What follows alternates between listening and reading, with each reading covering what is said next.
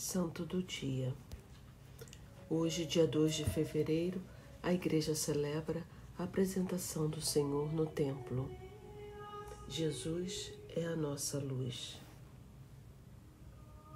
Origens. A festa da apresentação do Senhor pelos gregos, chamada Ipapanter, ocorre em 40 dias depois do nascimento do Senhor. Jesus foi levado ao templo por Maria e José, cumprindo externamente a lei mosaica sobre os primogênitos e a purificação da mãe.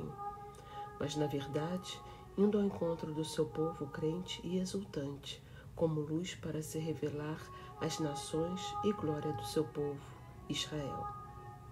O nome da festa litúrgica.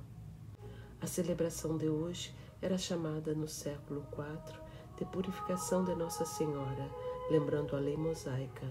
Com a reforma litúrgica de 1960, querendo dar o verdadeiro sentido ao acontecimento de origem, que é a oferta de Jesus ao Pai, símbolo do sacrifício da cruz, deu o nome de apresentação do Senhor. No Oriente. A celebração no Oriente remonta às tradições do século IV e desde o ano 450 é chamada a Festa do Encontro.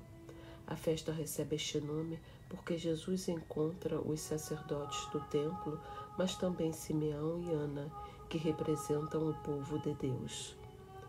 A apresentação do Senhor nos dá, mais uma vez, o exemplo de humildade. Nem Jesus nem Maria estavam sujeitos a essa lei, pois eram sem pecado, mas quiseram dar-nos exemplo de submissão às autoridades. É uma comovente lição de humildade, juntamente com aquela de pobreza demonstrada no presépio. A profecia. O encontro do Senhor com o profeta Simeão e a profetisa Ana no templo ressalta o caráter sacrificial da celebração e a comunhão pessoal de Maria com a morte de Jesus na cruz. Simeão profetizou a respeito de Maria: Uma espada traspassará a tua alma. Maria, por causa da sua íntima união com a pessoa de Cristo, foi associada ao sacrifício do Filho. A festividade em Roma. Roma adotou a festividade na metade do século VII.